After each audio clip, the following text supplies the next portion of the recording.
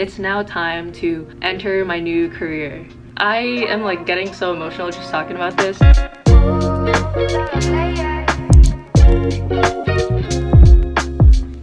Hey everyone, I am back with another video to talk about my career change. This is basically a continuation of my first video if you haven't seen that yet and you're curious about how I became a software engineer and like my whole background story of why I chose to switch into software engineering. Um, you can go ahead and watch that. I will include a link down in the description box below. But for this video, I will be talking about my experience after the bootcamp and how I found a job, what steps I took, and some tips and advice that I thought I'd share with you all if you're going through a career change and um, you know like you can relate to my story and whatever it may be. I'm really really hoping that you can find something valuable in this video as well. Without further ado, let's get started.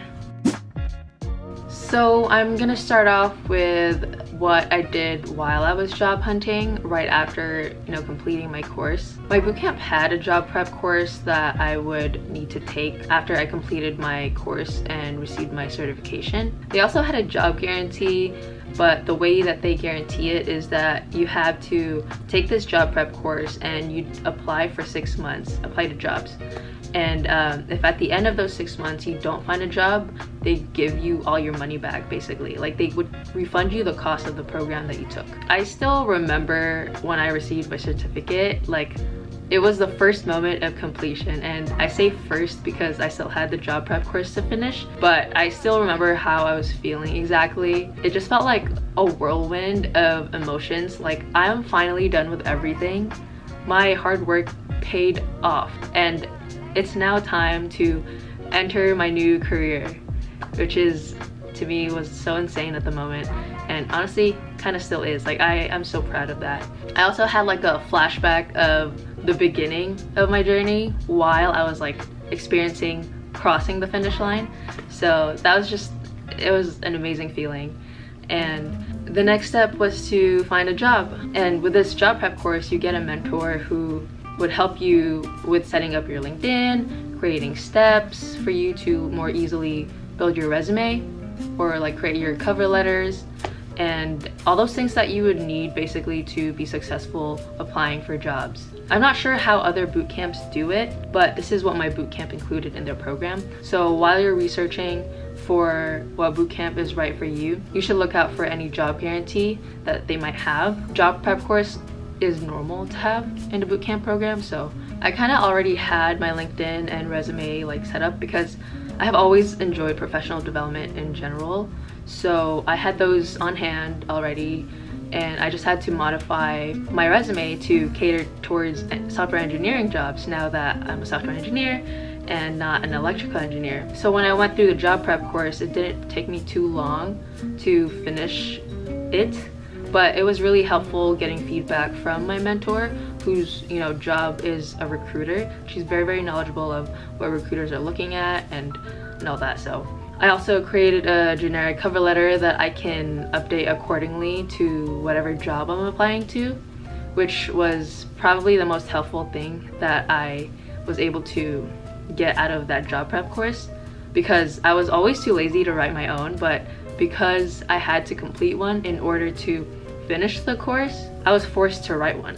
And to be honest, I say that it's the most helpful. That's only because I was able to finally write one for myself.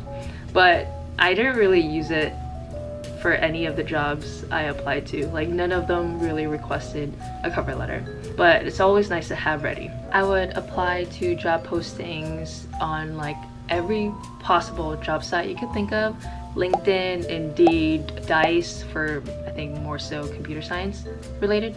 ZipRecruiter, Glassdoor, literally any of those websites, like any job sites you can think of, I applied. And for networking events, I would literally just Google software engineering networking events, either online or in the area. I never went in person because there was always an option for like a remote one happening like maybe every week i'm not sure but there are a lot of things that you can find on google if you just look it up. I attended an online developer week which that is a developer conference where they had networking sessions with lots of different companies and i would go into these sessions really paying attention to what they're you know giving a lecture about or just whatever they're talking about.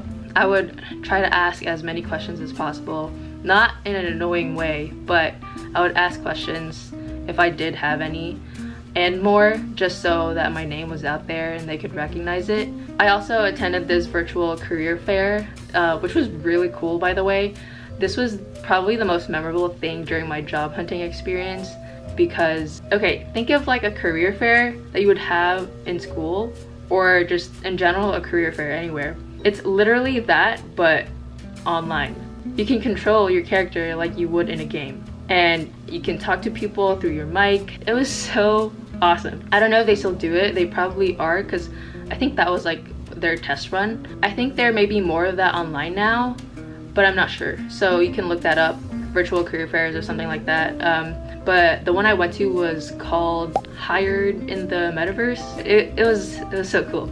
You gotta look that up. I got interviews from applying on the job sites like I mentioned earlier, but unfortunately I didn't get any offers from those. It, those were the ones with the technical interviews that like, you know, you did live coding for, which I knew I was just gonna do terribly at.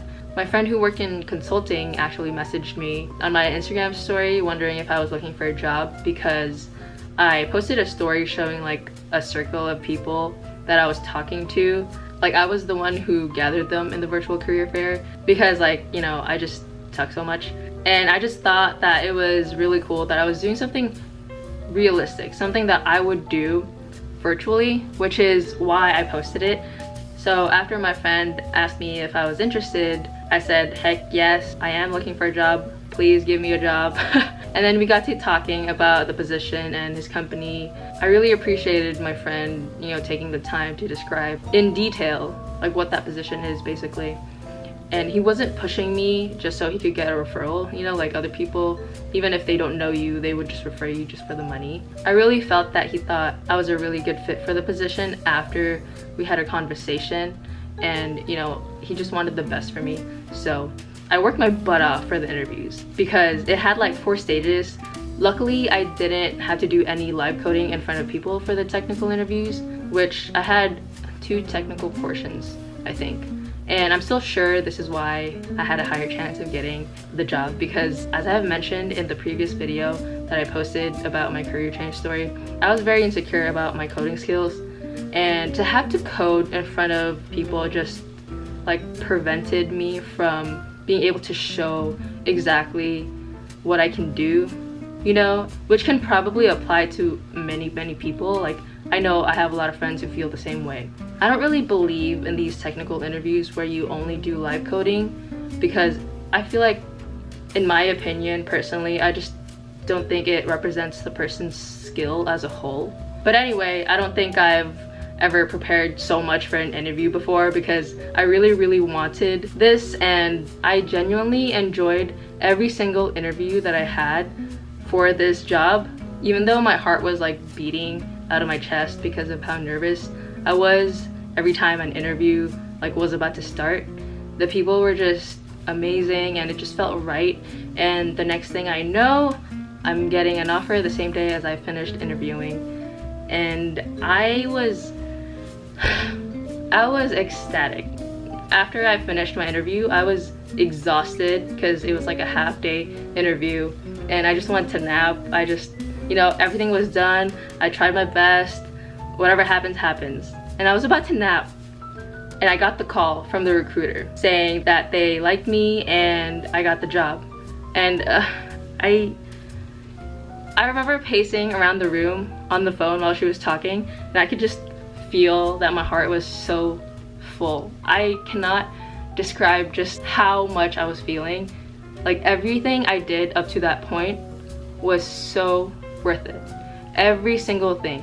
It just felt like I was meant for this job, for this career path. So I just felt really good about everything. And I really hope that if you're going through a career change, you get to that point as well. Because you will, you will. I am like getting so emotional just talking about this. I, oh my gosh, it was just one of the greatest experiences in my life. So let's move on to tips and advice. Number one, make sure you go to as many networking events as you can, whether it be in person or online.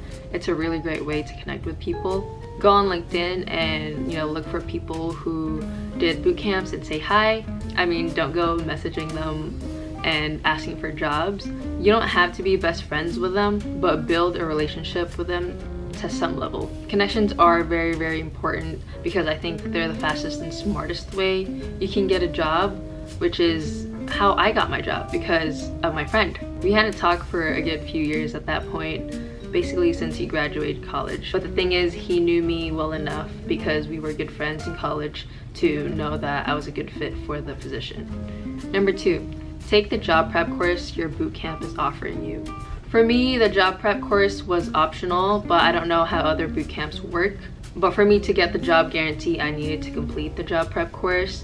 And personally, I saw it as a requirement because of that. My reasoning was I did it as a safety measure in case, you know, I didn't find a job in six months because at least I'd get my money back and still leave with the knowledge that I worked hard to get.